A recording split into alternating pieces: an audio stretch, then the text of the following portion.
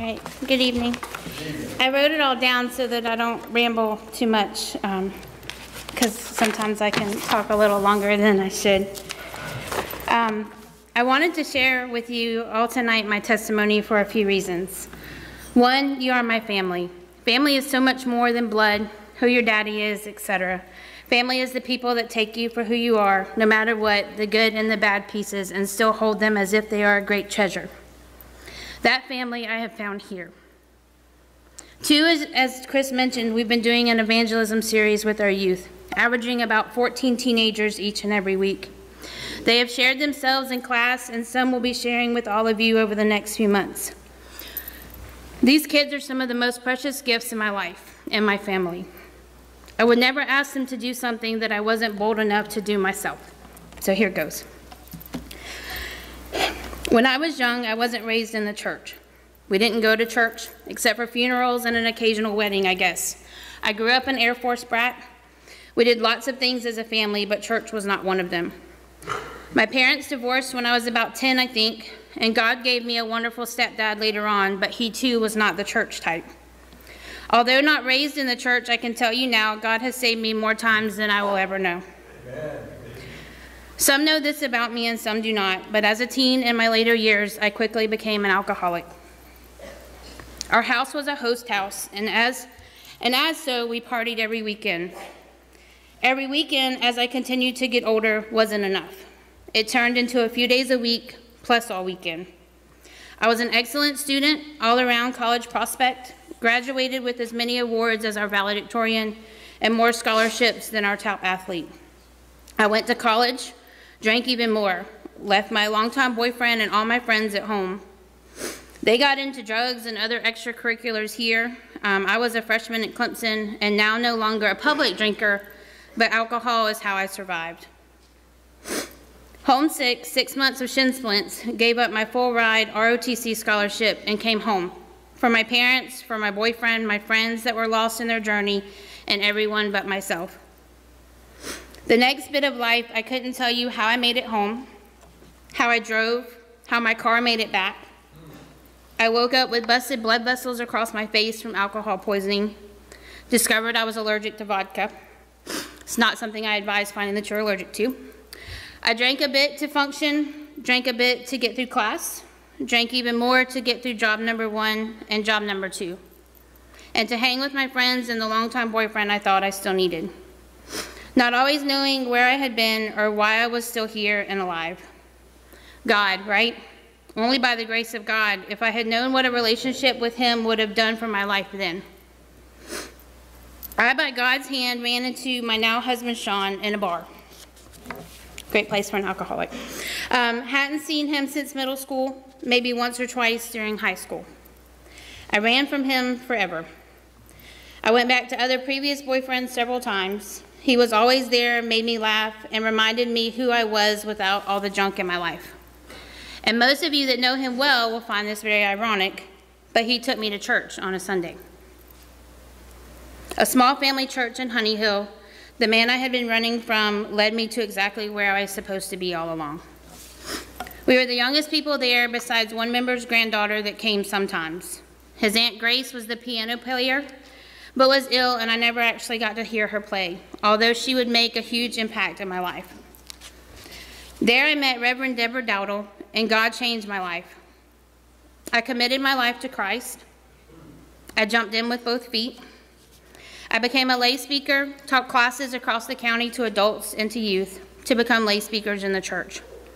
I planned and conducted youth retreats, trips. I did my very first of many sermons there and two sister churches on that same charge, preaching three times in a row every Sunday that I filled in. I was on the way to dedicating my life as a minister in the United Methodist Church. I was on the way to a ministry degree transferring from Tech to CSU. I was baptized there and later married Sean there as well. But life got in the way. And I put my running shoes back on we had moved to Goose Creek. My pastor had also been moved to a larger church in Goose Creek. I became the youth director there and was still teaching, and we were blessed with Gracie. Sean never went to church with us there, unless I was preaching or the day Gracie and Hunter were baptized. So after a while, I wrongly chose my husband, my life, over my relationship with God and my church. We then moved to Macedonia, and although I recovered from alcoholism before I was even married, the same feeling of being lost is where I found myself. But now, also as a wife and a parent, and shortly a parent of two when God gave us Hunter. This time I didn't go back to drinking. Depression was the devil's tool. I was lost for a really long time. Sean started having health problems. We lost our home twice. I blamed and was angry at God for my circumstances and was so detached that I could not even see a glimpse of light to find my way out. I was a believer. I knew God existed. I knew the things He had saved me from, and yet was still angry in what I had gotten into and felt He had let me get into. I made it my journey in life to always be the provider for my family. That as long as I worked, worked, and worked more, and provided for my family, that we would be okay. Vowed we'd never lose our home again, never be without what we needed that that purpose was enough for me. God didn't agree. He led me to Scouts, which eventually led me here, led me to McCorder, who I had known from camp but didn't even know he was a youth pastor, much less that he lived in my same community. Still, we did Scouts here and we went home. We didn't attend here, we didn't attend anywhere. I couldn't even tell you how, how, but Gracie started coming to youth here. Danny had been trying to get us here for years. Then three years ago, Sean had to have a triple bypass. I remember Danny coming to the hospital to pray with us. I remember talking with him at some point and him telling me that I have to do what is right for myself, my children, so that hopefully he, being my husband, would follow. I think I had come to visit prior to that, but I was a pew warmer. I was here for roll call. I wasn't active. I didn't care enough or was too uncomfortable beyond my bubble to even know what to do. God saved me again. I started coming every Sunday, getting to know people, getting to know Chris, getting my kids here. Even then, I was still torn. God worked it out. I kept doing what I was doing. God brought Sean through surgery, through everything, and in time, next to me in a pew every Sunday. Over time, he has brought me closer to my family here. My kids have family here. He has gotten all three of us not just in a pew, but involved, pushed, stepping out of our box and into the light for his glory. Into speaking up and speaking out, studying his word, having a closer relationship with each other and with him. He has led Gracie to praise band and toward her ministry and purpose. Her and Hunter both to friendships, mentors, and so much more that I could never offer them. My husband and I still aren't equally yoked, as Chris would say. We are still in different places in our relationship with God. But through being here, my studies and my family here, I know that I am meant to be a testimony for Him and that I have to be who God made me to be for myself, my children, and for my husband, so that someday He will be the man God, had, God made Him to be as well.